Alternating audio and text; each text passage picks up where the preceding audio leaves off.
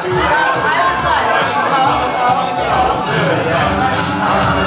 ladies and gentlemen, please welcome the new Mr. and Mrs. Silly Salvo to the dance floor for their first dance together.